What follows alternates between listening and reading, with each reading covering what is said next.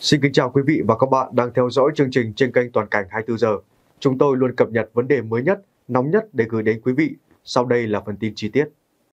Công an tỉnh Phú Thọ cho biết, cơ quan cảnh sát điều tra công an tỉnh Phú Thọ đã có lệnh giữ người trong trường hợp khẩn cấp, lệnh bắt người bị giữ trong trường hợp khẩn cấp, quyết định tạm giữ đối với Nông Đức Di, sinh năm 1974, trú phường Sông Cầu, thành phố Bắc Cạn, tỉnh Bắc Cạn, là Phó Giám đốc Sở Tài nguyên và Môi trường tỉnh Bắc Cạn để điều tra, làm rõ về hành vi giả mạo trong công tác.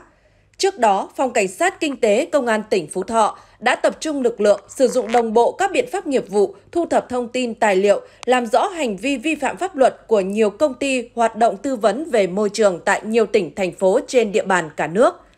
Thông qua công tác điều tra xác minh các hành vi vi phạm từ ngày 2 tháng 5 đến ngày 4 tháng 6, Cơ quan Cảnh sát điều tra Công an tỉnh Phú Thọ đã khởi tố 6 vụ án 11 bị can về các hành vi làm giả tài liệu của cơ quan tổ chức, giả mạo trong công tác đưa hối lộ và nhận hối lộ. Cơ quan Cảnh sát điều tra Công an tỉnh Phú Thọ xác định, mặc dù các công ty hoạt động tư vấn về môi trường không có máy móc thiết bị, không có nhân lực chuyên môn về tư vấn môi trường nhưng vẫn thực hiện hoạt động tư vấn, lập hàng trăm báo cáo đánh giá tác động môi trường cho các dự án trên địa bàn cả nước, thu lợi bất chính hàng chục tỷ đồng.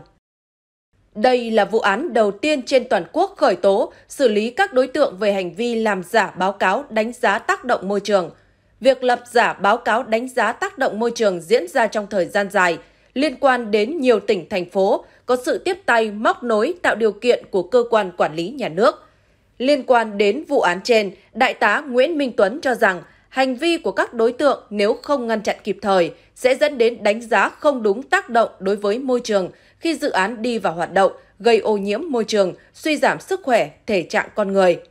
Theo Đại tá Nguyễn Minh Tuấn, việc cơ quan cảnh sát điều tra công an tỉnh Phú Thọ phát hiện, điều tra, khởi tố các vụ án nêu trên là hồi chuông cảnh tỉnh đối với hoạt động thẩm định, phê duyệt, báo cáo đánh giá tác động môi trường, góp phần bảo vệ môi trường, sức khỏe và đời sống của người dân. Công an tỉnh Phú Thọ đang tiếp tục điều tra, mở rộng vụ án để xử lý các đối tượng liên quan theo đúng quy định của pháp luật.